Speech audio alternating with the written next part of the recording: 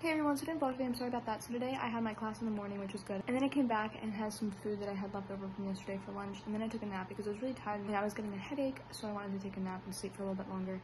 Um, because I've been getting headaches from my allergies because I took allergy medicine yesterday and it felt a lot better um, this morning, but I got home and I was like, oh, I'm sorry to get a headache again um, because the weather's just been so on and off that my allergies are acting crazy. Um, so I took a nap and then I woke up and did my work for tomorrow and got some of my stuff that I needed to get done for the weekend done. Um, and then I have just been relaxing and chilling out for dinner. I just had some of my leftovers and some cereal. Um, but that's pretty much it. I think tonight I'm gonna watch Spider-Man Homecoming and then go to sleep. Um, yeah, obviously Spider-Man Homecoming is not on Disney Plus, but we have it on Amazon Prime, so I'm gonna watch it. Um, and then I'm gonna go to sleep after that. That's pretty much it. I'm gonna go now and go do that. So I'll watch Spider-Man Homecoming and then go to sleep. And yeah, that's it. So I hope you all have a good day. So have a good day. You tomorrow. Bye. Good night from Isabel.